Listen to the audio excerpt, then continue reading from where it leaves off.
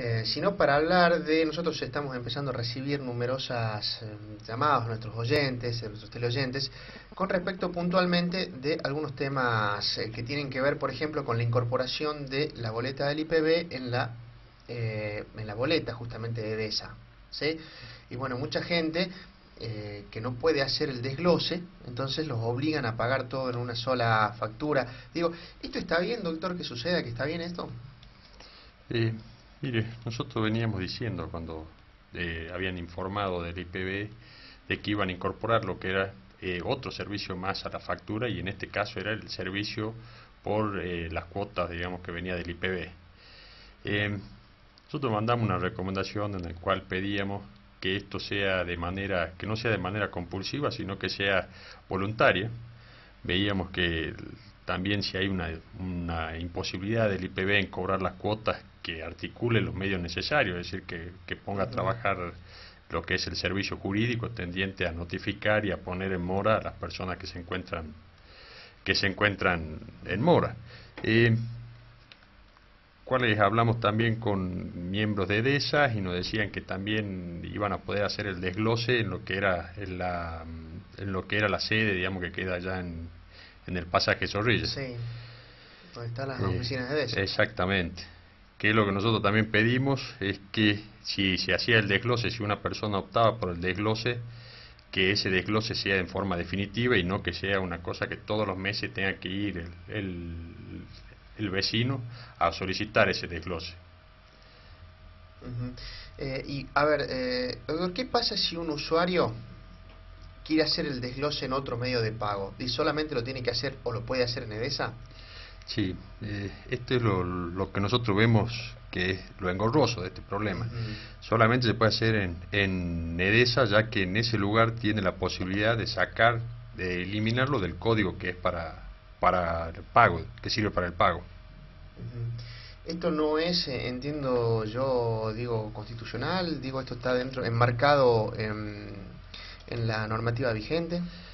Eh, acá uno de los contratos que tiene DESA y que es muy, es muy importante para ello y que le proporciona grandes ganancias es el cobro de servicio.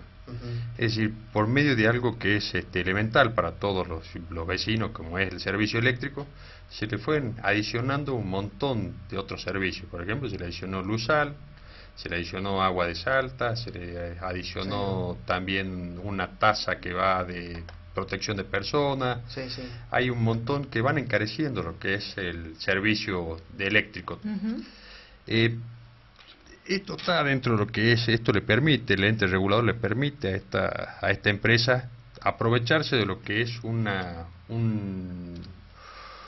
una actividad que lo hace de manera exclusiva, es decir, el servicio eléctrico acá tiene lo que es un monopolio en cuanto a la distribución.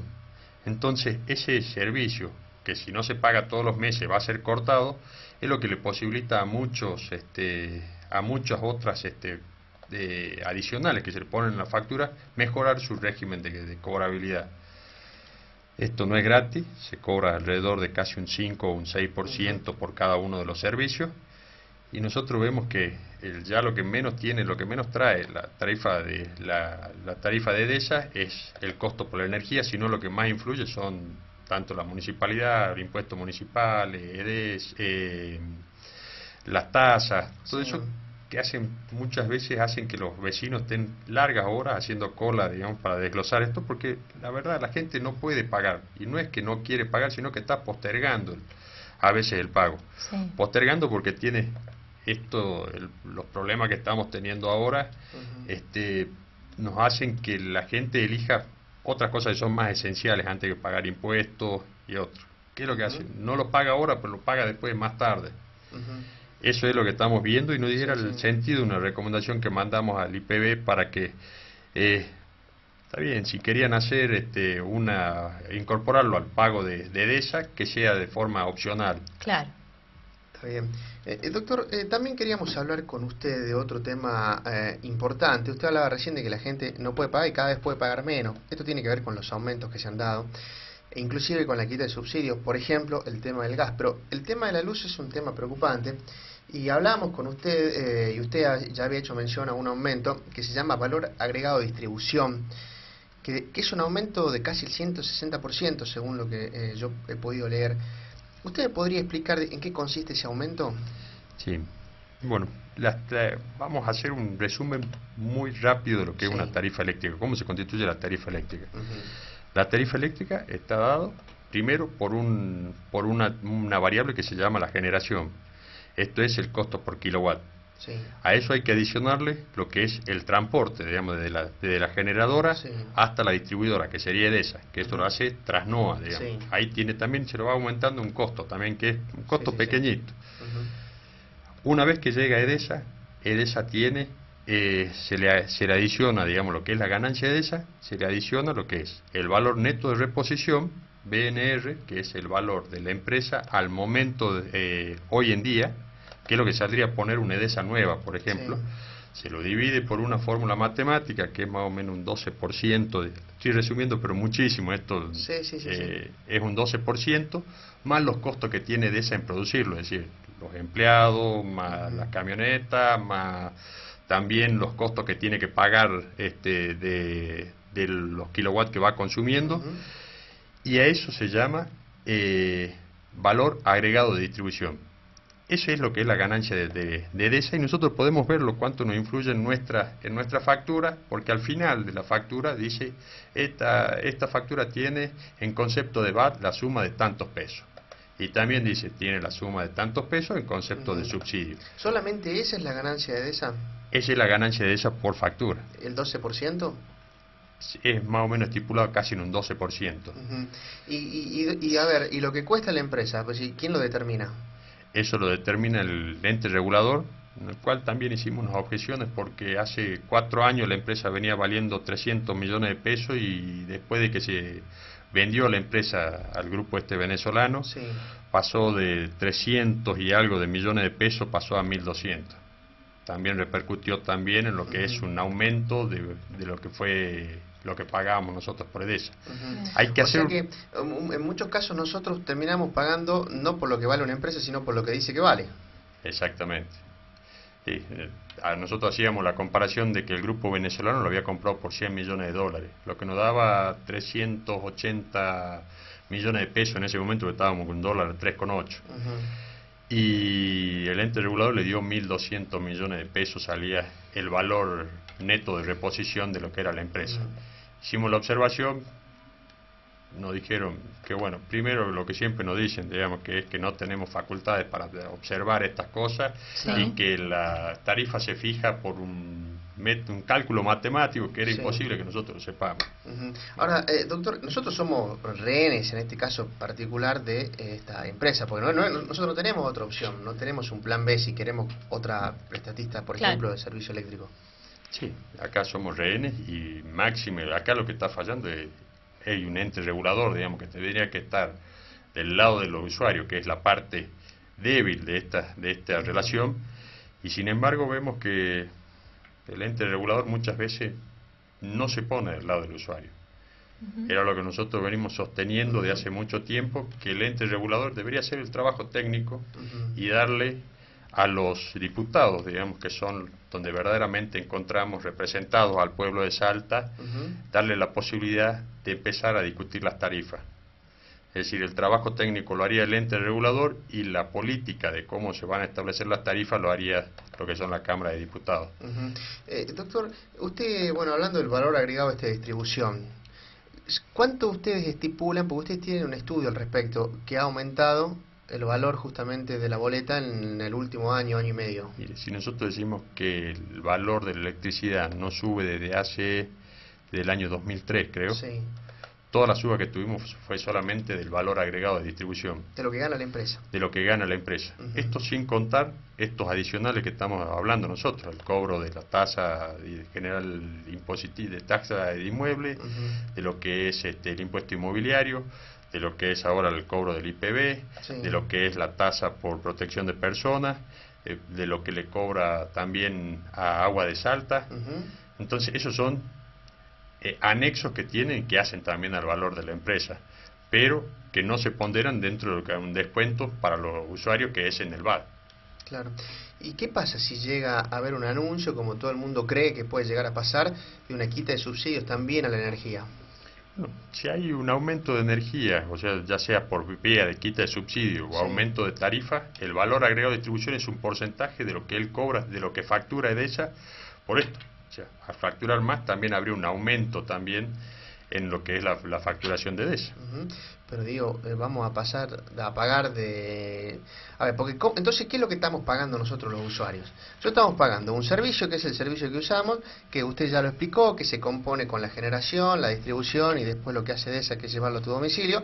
Y encima estamos pagando nosotros eh, este valor agregado que es la ganancia de lo que todos pensamos que es lo que vale la empresa. No, el, el VAT es el valor agregado de la distribución, es decir, antes de llegar a la distribuidora, tiene un precio. Cuando sale el distribuidor y llega a tu casa, ahí se le aplica el VAT.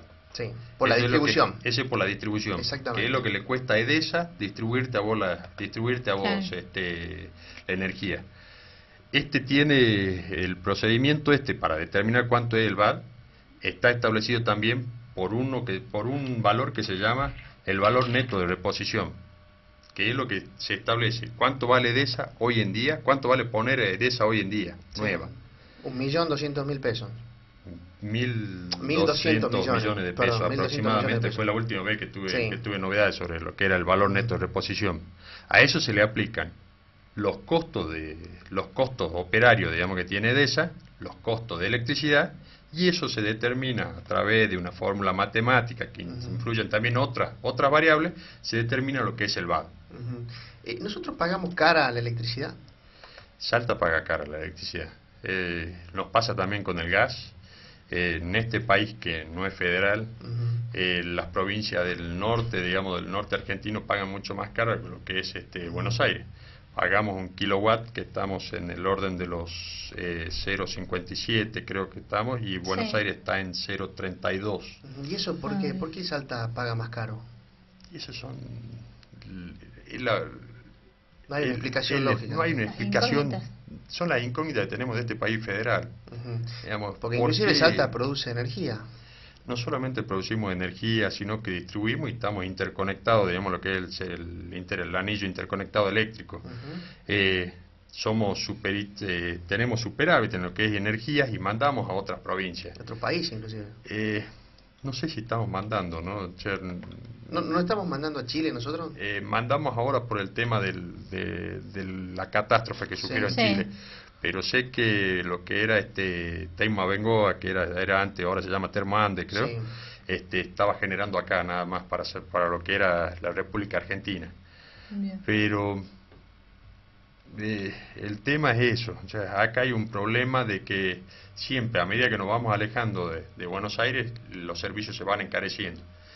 Eh, tanto los tucumanos como los salteños y los jujeños pagamos un servicio muchísimo más caro del que paga un porteño y lo que paga un, un, cordobés o un santafesino.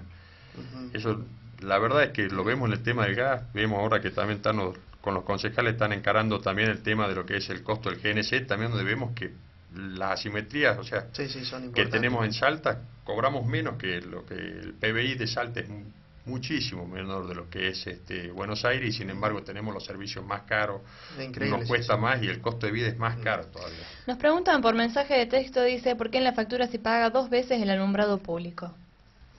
Eh, hay en el servicio de, de la factura hay uno que se llama, hay un cargo que pone EDESA, que es el cargo por el alumbrado público y hay otro que se llama Lusal. Sí. Lusal es el servicio netamente de lo que es este eh, la reposición la reposición de, de lo que son las bombillas ah, de lo que es el buen mantenimiento del, del, alumbrado público.